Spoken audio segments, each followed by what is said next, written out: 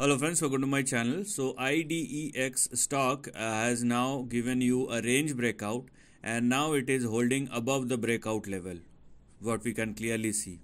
So the next big move or any further up move is subjected to the sustainability of IDEX stock above 0.068 above which the breakout happens. So now 0.068 is your support as well as your stop loss. So number one, please do not go below 0.068 and if the stock falls below 0.068 on closing basis, the uptrend will be over. I think this is very much clear to you and if you want to go further then it is uh, mandatory for the stock to sustain above 0.068 and if only it continues to do so the next big target will be 0.12 which is your immediate resistance or immediate high that the stock has tested I think a uh, couple of uh, days or one or two weeks back.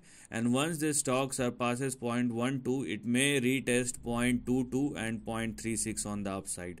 So focus on the breakout and if the stock sustains above 0.068, this range will become active, which is for the uh, for your information is active right now. But it all depends upon the sustainability of IDEX stock above 0.068. So this is the only mandatory thing which we need to look at and if uh, the stock uh, hold on above its breakout level then we have couple of targets or up moves going forward. So this is the end of the video. Thanks for watching.